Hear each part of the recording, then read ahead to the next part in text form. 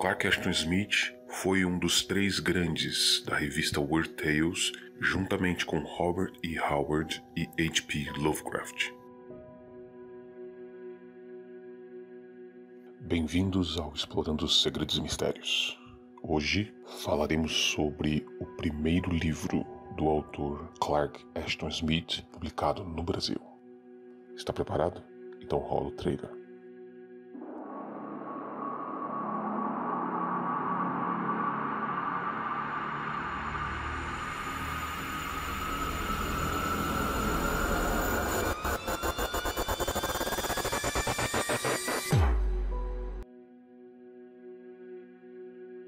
Clark Ashton Smith foi um poeta, escultor, pintor e autor americano de contos de fantasia, horror e ficção científica. Smith foi um grande criador de mundos imaginários e criaturas incríveis, tendo concebido através da escultura seus monstros antes mesmo de transportá-los para o papel. Contemporâneo, amigo e grande mestre de H.P. Lovecraft, ele escreveu também sobre os famosos mitos de Cthulhu, no período de 1920, enquanto publicava seus contos em revistas pulp, especialmente a Weird Tales.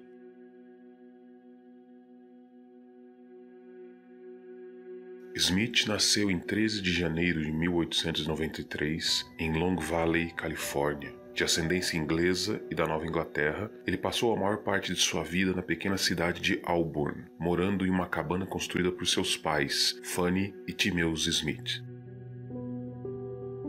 Sua educação formal era limitada. Ele sofria de distúrbios psicológicos, incluindo agorafobia, e embora tenha sido aceito no ensino médio depois de frequentar o ensino fundamental, seus pais decidiram que era melhor para ele ser ensinado em casa.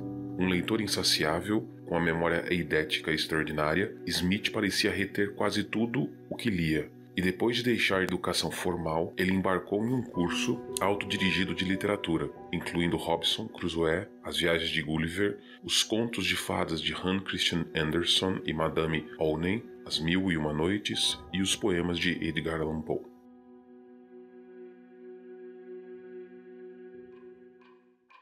Durante muito tempo, tivemos em nosso país uma ausência de livros de autores de ficção fantástica. Isso serviu como motivação para que em 2003 a editora fosse criada e acabasse se tornando a primeira editora brasileira inteiramente dedicada ao horror e à fantasia.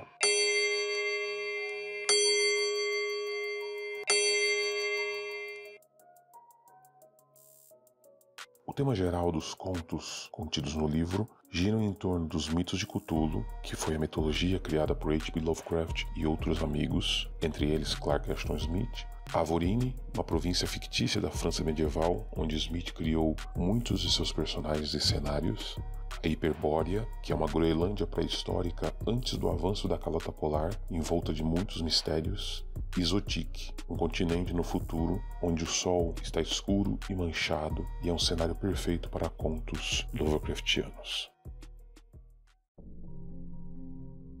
Em 1933, Smith começou a se corresponder com Robert E. Howard, o criador texano de Conan o Bárbaro. De 1933 a 36, Smith, Howard e Lovecraft foram os líderes da escola de ficção Weird Tales e se corresponderam com muita frequência, embora nunca tenham se encontrado. O escritor de fantasias orientais E. Hoffman Price é o único homem conhecido que conheceu os três pessoalmente. Aos 44 anos, Smith parou de escrever ficção, pois foi gravemente afetado por várias tragédias ocorridas em um curto período de tempo. A morte de Robert E. Howard por suicídio em 1936, a morte de Lovecraft por câncer em 1937 e a morte de seus pais, que o deixaram exausto.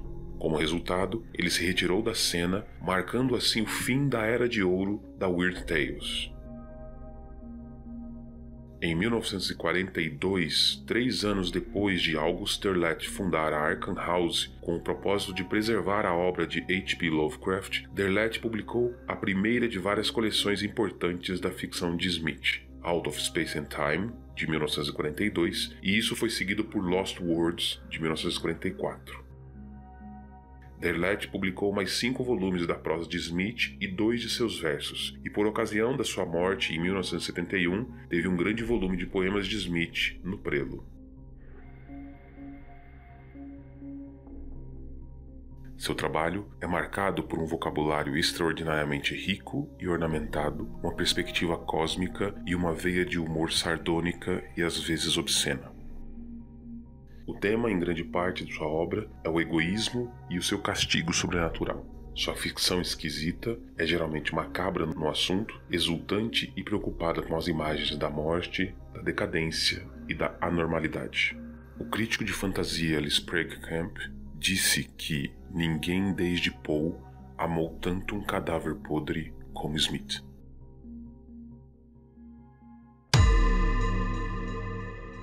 Este que vos fala participou com muito agrado do Catarse e espera ansiosamente para receber e ler, página por página, essa obra maravilhosa traduzida para o português.